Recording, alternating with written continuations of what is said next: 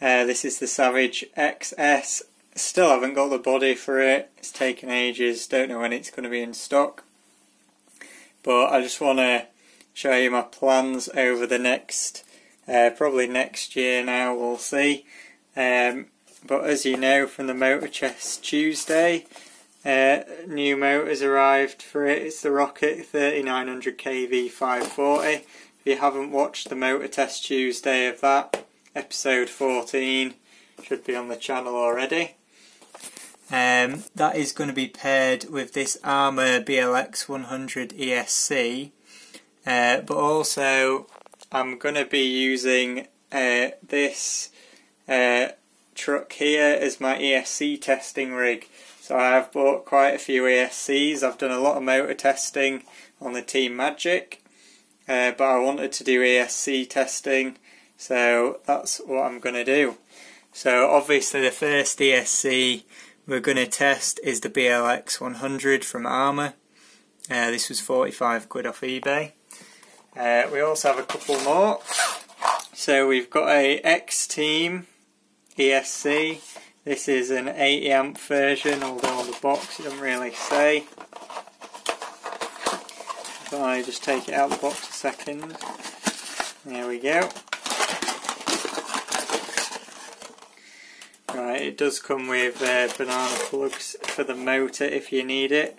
It's got a push button switch.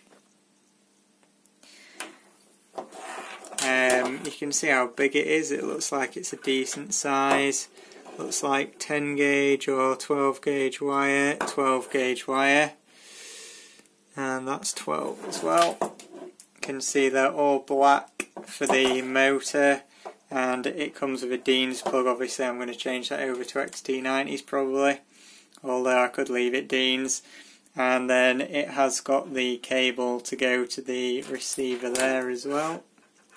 You can see on mine that's kind of almost coming out there, which isn't the best.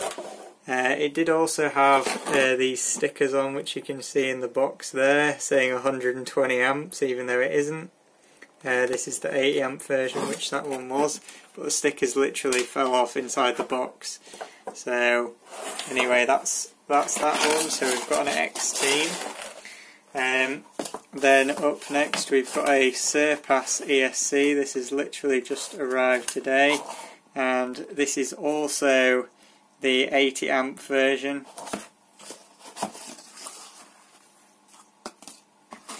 So I literally haven't even taken this out of the box yet, you can see again. Got a Dean's connector, this wire is thinner, yeah, it's 14 gauge wire on this one. Yeah the wire is definitely thinner. And you can see Surpass branding, the stickers haven't fallen off this one yet. Looks good though with a red heatsink and uh, hopefully all of these fit in the car. This was the cheapest one. This is a Surpass KK series ESC. Um, it feels quite a bit lighter than the other one actually. I'll uh, show you all of them together at the end to compare. This one just has a normal slide on off switch with this little rubber cap on. So you can see that there.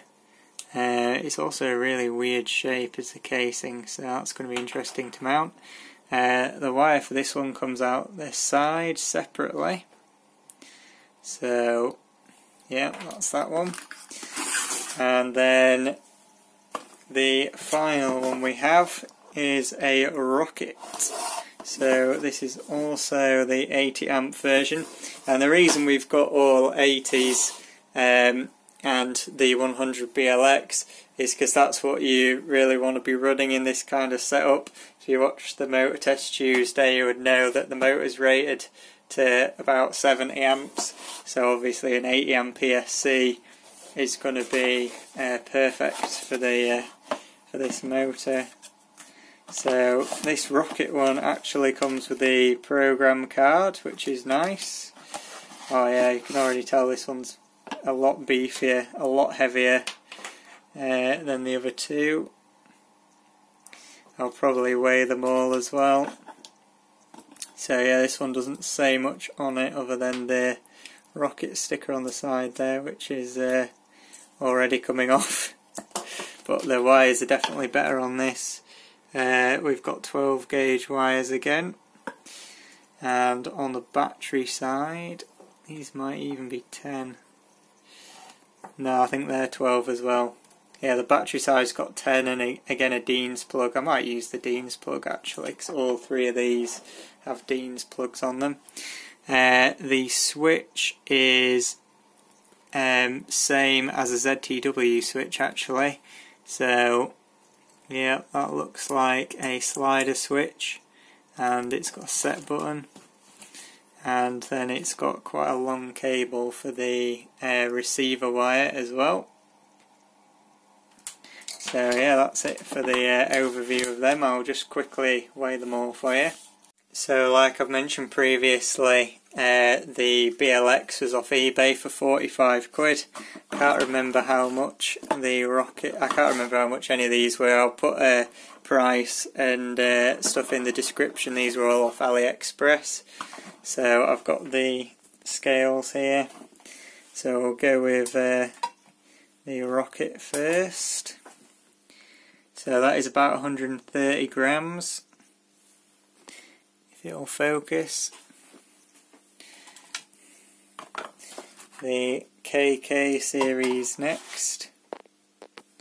Wow, 94 grams. Definitely lighter. And the final one, which is the X Team. Let me get it all on here. 115 grams. So, yeah, in order of weight, I could kind of tell when I took them out of the box, but the uh, the Rocket is definitely the heaviest. Then the X Team, then the KK series. So it'll be interesting. Um, switch wise, I think the X Team has got the best switch because it's a push button, so it's no chance of uh, turning off. Uh, this is a slider, feels pretty cheap and rubbish. Uh, this slider as well is a little bit better because it has a rubber cap, but it doesn't have a set button to set your endpoints. I'm guessing they're just hoping it's correct out the box or it has some kind of auto calibration. Uh, the KK series also has the thinnest wires, 14 gauge. The other two are 12 gauge for both the battery side and the motor side. Uh, but I, I, must say that the Rocket one has definitely got the nicest wires. The uh, silicon coating on these is the thickest. Um, so yeah, they all look alright though. Um, cable length wise, I think the X Team and the Rocket are pretty similar. Let's just line them up there. So you can always use an extension on, but they're pretty similar. The KK series one here is a lot shorter. However, it doesn't have to run very far from the ESC to the receiver in the Savage XS, so these should all be fine. Hopefully they all fit in. Size wise, the X Team is actually the smallest. I don't know how well you can tell and I would say the rocket one is probably the biggest, which makes sense because it's the heaviest. Just compare. Yeah, I'd say the rocket one's a little bit bigger than the KK series lengthwise, and then height-wise, I think the the KK series here is the tallest. Yeah, it is with its its fan shroud. It's definitely the tallest is the KK series in the middle there. So, I don't know whether that will be a problem fitting in the ESC tray. I'm going to say the X Team's the lowest profile one out of all of these. And it looks like the fan on the X Team is replaceable as well. Because uh, it has screws up here. Whereas the other two, not sure if you can take them apart.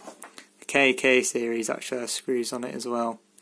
But they look like tiny little shoddy Phillips head screws.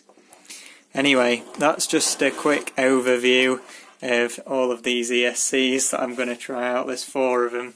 So it's going to take a while. It's it's not going to happen even in the next few weeks while it's winter, but it's something to look forward to. Um, hopefully in the spring or maybe early next year, we'll see.